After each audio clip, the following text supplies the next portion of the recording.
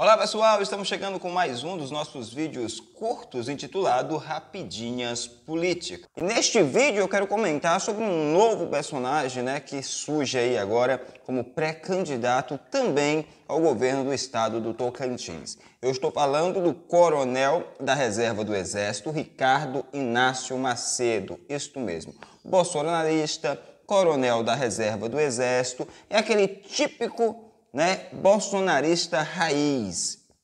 Por que, que eu quero falar do coronel Ricardo Inácio?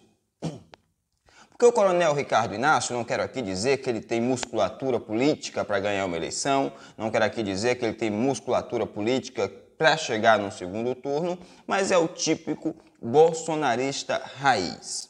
E pode sim tirar votos dos demais candidatos, né? Dos candidatos alinhados ao bolsonarismo, né? Pode tirar voto do pré-candidato e ex-prefeito de Araguaína, Ronaldo Dimas, que é do partido do presidente da República, Bolsonaro. Pode tirar voto do pré-candidato deputado federal Osíris Damaso, que é alinhado ao bolsonarismo, que vota né, com o Bolsonaro, que vota os projetos de acordo com o governo federal, né, a favor do governo federal e pode também tirar voto do atual governador Vanderlei Barbosa, apesar do Vanderlei Barbosa se dizer neutro em relação à disputa é, a nível nacional, né, a disputa para presidente da República, mas é um candidato também que tem possibilidade de ser bem votado, né, pelos bolsonaristas. Então vamos lá. O coronel da reserva, né, o Inácio, Ricardo Inácio, é o típico bolsonarista raiz. É militar,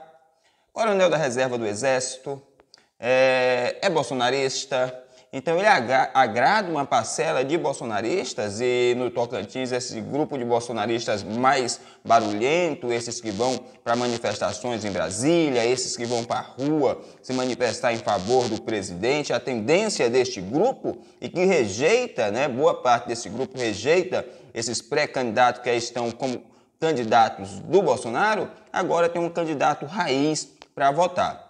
Isso vai resultar na perca de votos de alguns outros pré-candidatos. Né? Com certeza o Dimas, Ronaldo Dimas, perde voto para esse coronel da reserva.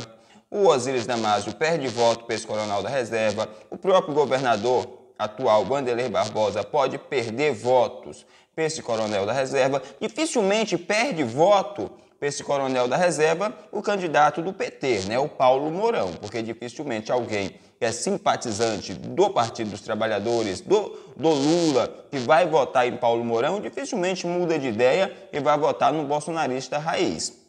Mas existe uma insatisfação com um grupo de bolsonaristas, esse bolsonarista mais raiz, com os nomes aí apresentados. Eles não querem votar nesses candidatos e até dizem, né, que esses candidatos, esses pré-candidatos, nunca foram bolsonaristas de verdade, nunca defenderam o presidente Bolsonaro e agora tem um pré-candidato para chamar de seu, que é o coronel da reserva do Exército, Ricardo Inácio Macedo, tocantinense de raiz, nasceu no estado de Tocantins, na cidade de Porto Nacional e é o típico bolsonarista raiz e vai acabar tirando alguns votos dos demais candidatos, tá certo? Esse foi o vídeo Rapidinhas Políticas de hoje. Voltamos a qualquer momento com mais um vídeo. Até o próximo. Não se esqueça, se inscreve no canal. E se você é bolsonarista, deixa aí o seu comentário. Você vota no coronel da reserva né, do Exército, coronel Ricardo Inácio Macedo? Até o próximo vídeo.